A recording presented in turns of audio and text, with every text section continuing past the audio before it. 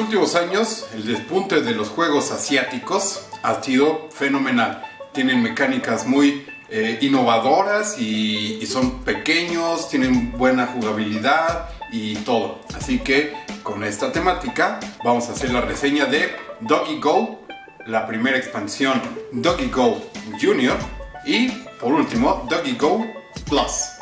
Bueno, en este juego básicamente lo que tienes que hacer es armar patrones lo más rápido posible para ganar puntos.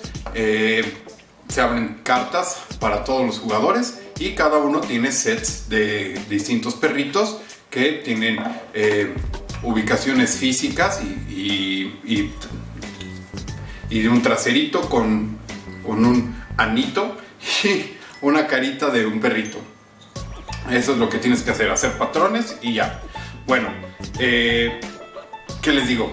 Me parece fenomenal este juego cada vez que lo he sacado a mesa.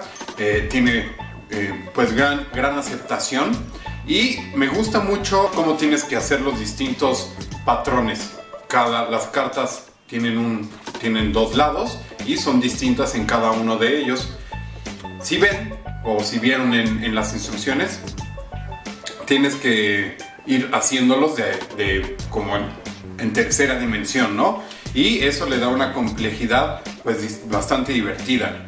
Eh, aquí están los perritos y ven cómo se pueden apilar uno encima del otro. Si los pones enfrente, parece que están encimados. Entonces ahí está la complejidad del juego. Creo que en un primer nivel, Doggy Go solito tiene pues mucha jugabilidad, ¿no? Es, es bastante rápido, y definitivamente los jugadores que tengan esta capacidad de análisis espacial lo van a hacer mejor, ¿no? Y creo que mientras más lo juegues, mejor te vas haciendo.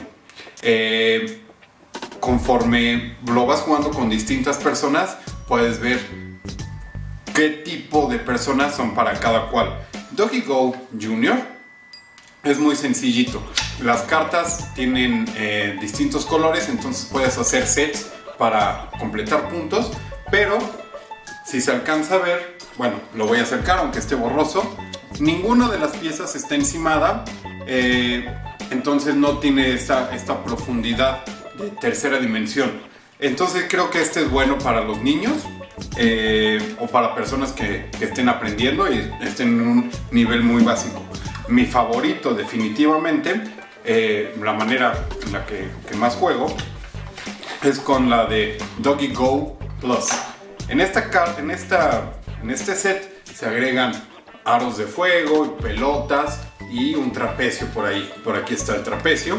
Entonces, estas, estos patrones de cartas son más difíciles y, tienen esta complejidad de también hacer sets y que te dan puntos por la mayor cantidad de cartas del mismo color que tengas. Esta es eh, la manera en que generalmente lo jugamos nosotros, pero tiene, como vieron, distintos niveles para cada, cada jugador. Entonces puedes empezar con un nivel muy sencillito, con Doggy Go Junior, seguir con Doggy Go, que es normal, no tiene sets ni nada, simplemente rapidez y ver quién junta la mayor cantidad de cartas, y terminar con Doggy Go Plus. Eh, en estos están acomodados encimados y demás y la verdad es que se ve más fácil de lo que es en realidad. Eh, hemos jugado con distintas personas y con las que pensé, algunos ingenieros que iban a ser muy buenos, pues no lo fueron, ¿no? Entonces tienes esta, que tener esta capacidad visual y, espacial de, crear estos patrones a partir de figuras eh, planas, que son hexágonos, este es distinto, que son hexágonos, simplemente no, no, no tienen, o sea, están ubicados con el vértice en medio para producir este efecto de tercera dimensión. El arte está muy bien, eh, me parece pues bastante bonito y la calidad de las losetas es impresionante. No sé de dónde sacaron este cartón, pero está súper súper firme, ¿no? no se va a despintar. El acabado está pues bastante bien, no se ve barato de ninguna manera.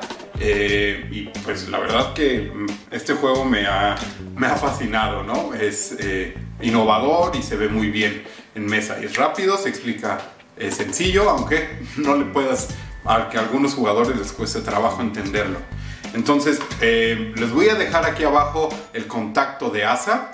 Recuerden que él lo imprime, él lo diseña, él lo dibuja, él hace todo. Así que pues no duden en contactarlo para que les mande un juego y pues lo manda hasta su casa desde China.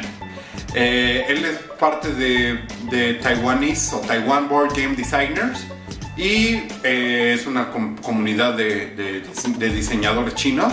Entonces, pues contáctenos, estén atentos a sus juegos y pues no olviden comentarnos, decirnos qué les pareció, seguirnos en las redes sociales y pues nos vemos en la próxima. Recuerden que aquí en Juega Meseros llevamos los mejores juegos hasta su mesa. Adiós.